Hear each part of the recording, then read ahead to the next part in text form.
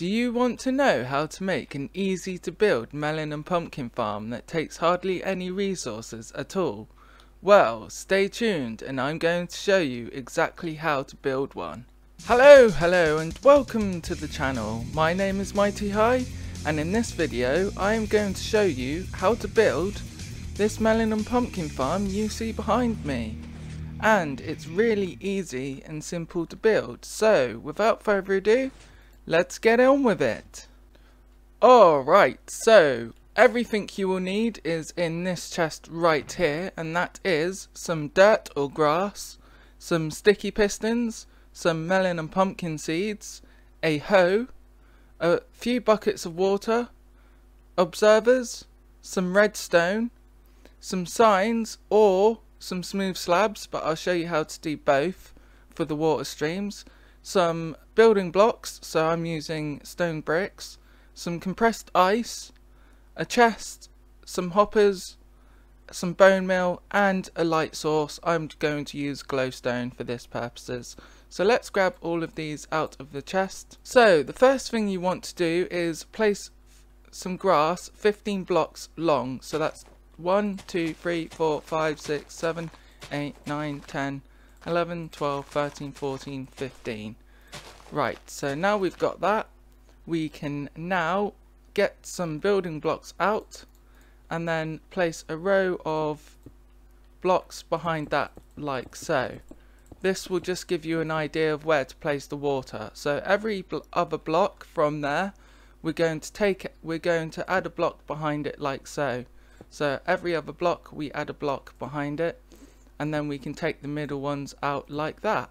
And then you put your water in the middle so it can hydrate this dirt. Basically that's the idea of it anyway so let's do that and get rid of these.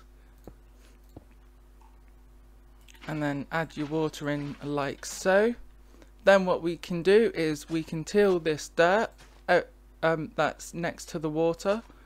As you can see I'm doing here then you, what you want to do is alternate your melon and pumpkin seeds when you put them on the tilled dirt. So one pumpkin, then one melon, one pumpkin, then one melon, and so on and so forth until you get to the end.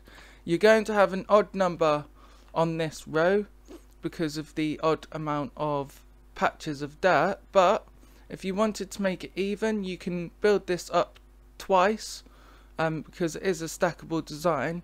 And then just start off with either your melon and pumpkins on the other side on the top so that it's an even amount of melon and pumpkins. But I'm just going to do this for now. So once you've planted your melon and pumpkins you can now get your observers out. And you want to place your observer facing this stalk here but an easy way to do that is find the hitbox of the stalk and just place your observer like so. Some of these have already grown because I've got the tick speed high, but that is a really easy way to actually place your observers using the stalk, which is why I grew them first. You just got to be careful you don't trample on them like that, um, because it's easily done. So let's grow that back. And now you've got your observers in, we can now place our pistons in and yes you guessed it these go in in between the gaps of the uh, observers like this. So let's just do that quickly.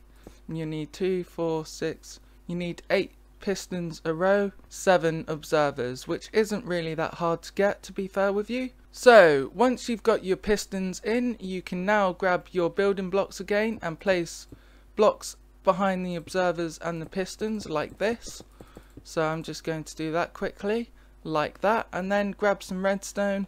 You need about 15 bits of redstone and then just go all along this line like so. So every time as you just saw there every time one of these observers get a block update it triggers the whole thing which is pretty awesome. So this is the pretty much the basics of the melon and pumpkin farm done so now you've just got to build your water stream, which is pretty easy. So what we want to do is block off an area like this. So we want to go 15 blocks in this direction, like so. uh, and then block off the end like that and then we go down get rid of this row of blocks here so it's two deep instead of just one. Then what you want to do is get rid of the other row like this so that you can place your compressed ice down. So then we get our compressed ice out and place that right on the bottom there. So there's three two blocks gap between the compressed ice and the pumpkins and technically free with the compressed ice or including the compressed ice. So let's place that down there and you can also change that block for dirt if you really wanted to and change that for um, bricks if you want to just to make it look a bit decent.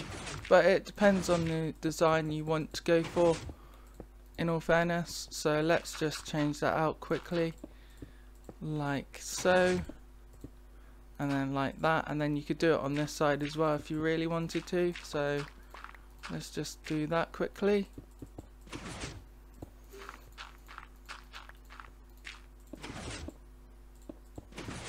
right so now that's done now we can actually place our water. So we place our water one water source can go there so all the items get flung over to the other side. So there's two ways of doing the water streams with signs or with half slabs. So the half slab way is basically add a uh, half slab right under a piston would be a better idea and then add another water source next to the half slab. So any item that does get chucked into the water stream for example these melon pumpkins will go under the half slab over to the other side the only problem with using a half slab is sometimes items do get stuck on them which is why I suggest doing it the other way. So if we just get rid of that half, half slab, we can place a sign there, like that, and then we place another sign one block to the left and one block up on this bit of dirt there. Then we can add a water source on top of that sign, so anything that does drop on this water gets chucked along over to the other side, and anything that flies along over this side will just go under it. So let's change the time of day again quickly. So now you've got your water streaming, it's just a case of doing the collection system, which is fairly simple. You just grab yourself some hoppers and a chest, like this. Then you can get rid of that block for the time being. Put down some chests, probably here, like so and then you can just have a hopper leading into that chest like that like so and then we can replace them blocks back. So if that annoys you with the water over the hopper you can either block it off like that or you can put a half slab over the top as well. It shouldn't uh, interfere with any items going in as you can see just there. The items are filling up. The only problem with the block is you can't access the chest.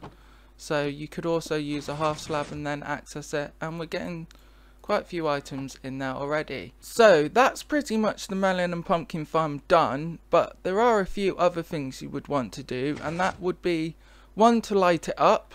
So let's grab some glowstone and basically I'm going to put a piece of glowstone on every bit of observer like that and then we can get some stone and just put that in the middle so we're filling the gap up. And that is how you make it look decent and you can also tile this as well so your next row will be there so two blocks above the first row of melon pump and pumpkins you can actually tile this up so let's do that quickly so we've got our dirt there then we can grab our stone slabs out and place them like this, like so. Then we want to cover them gaps up like this. So we can put the water behind it. So then we can put the water in these gaps here, right above the glowstone basically. Then we till this gra grass or soil like so next to the water and then we can add our melon pumpkins in so this time I'm using a melon seed then pumpkin seed then melon then pumpkin just to make it even from the bottom because there's odd numbers here then we can add our observers like so and you've got to find the hitbox of the stalk, which is not easy sometimes, but it there eventually. So there we go, like that. Oh no, like that, and same on all of these. Like so there's your observers in now. Then we grab our pistons and place every piston facing this way like so next to the observers. Then we add a block a row of blocks behind the pistons and observers like this. And then we just get our redstone dust and put a line of redstone dust along here like so. And then that is it. It's really easy to do and fairly simple and the yields are quite decent as well. I know you get stuff like that where the melon and pumpkins are like falling from one side and staying on the block but, but unfortunately that is just how Minecraft items work. And also you don't have to use um, sticky pistons for this. You can just use normal pistons as well. It works just the same way. So if we get rid of these pistons for example and add some normal pistons it will still do the same thing. So I've just changed them for normal pistons and as you can see the farm is still running. So let's just add some more light to the top of this because the reason why we have light is one for mobs and two because it helps the melon and pumpkins grow during the night so you get better yield out of it and that's the only thing left to do is get some glass and cover this thing. So let's do that now. And look how cool this is now. So we've done that and I've added a layer of glass over to on this side um, just so that the items that do hit this wall will actually just fall down into the collection system. And that is how you build an easy and simple melon and pumpkin farm so, I hope you liked this video and now you should be able to make this farm all on your own. So, thank you very much for watching. My name is Mighty High. If you like this video, then please click the like button and if you really liked it, then click the subscribe button and ding that bell for further uploads. But I have been Mighty High and thank you very much for watching. Goodbye!